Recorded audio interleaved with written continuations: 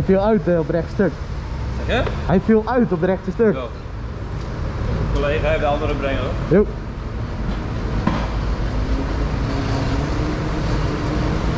Die links op.